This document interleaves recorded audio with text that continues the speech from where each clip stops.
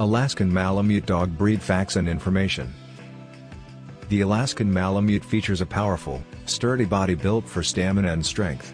It reigns as one of the oldest dog breeds whose original looks have not been significantly altered. This intelligent canine needs a job and consistent leadership to avoid becoming bored or challenging to handle. Novice pet parents, beware. Dogs of this breed are sensitive and need plenty of companionship and open space. They are not well suited to apartment life, and they are certainly high-shedding pooches who need plenty of grooming to keep their coats healthy. Expect to clean up dog hair all year long, and especially during shedding season. Alaskan Malamutes are high-energy dogs, and therefore require vigorous exercise. If you plan to leave them home while you're at work, you may see some anxious, destructive behavior. A dog walker or pet sitter during the day is practically a must if you can't be home, yourself.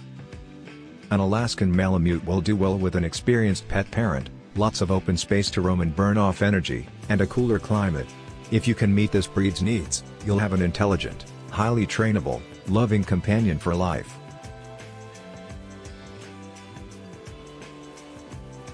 Not recommended for the first-time dog owner as their intelligence combined with stubbornness can make them a challenge for someone not savvy in dog behavior.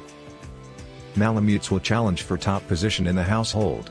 Everyone who lives with a dog must be able to properly deal with this and clearly establish all family members are not to be pushed around. Alaskan Malamutes are notorious diggers. Any fencing should be buried so they cannot dig out of their yard. Alaskan Malamutes are a powerful, independent dogs who, if not properly trained or exercised, can become destructive or bored. With early socialization and training, Malamutes can learn to get along with other dogs and indoor cats. They'll view outdoor cats and other small animals as fair game. Their high prey drive can cause a Malamute to stalk and kill small animals, including birds, squirrels, cats and even smaller dogs. They need to be properly socialized and introduced to other companion animals. Alaskan Malamutes shed heavily twice a year.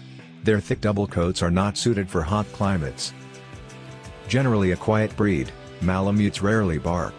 They do hold conversations with you, vocally expressing themselves with woo-woo sounds or loud, extensive howls. To get a healthy dog, never buy a puppy from an irresponsible breeder, puppy mill, or pet store. Look for a shelter or rescue who provides medical care and vaccinations for their dogs.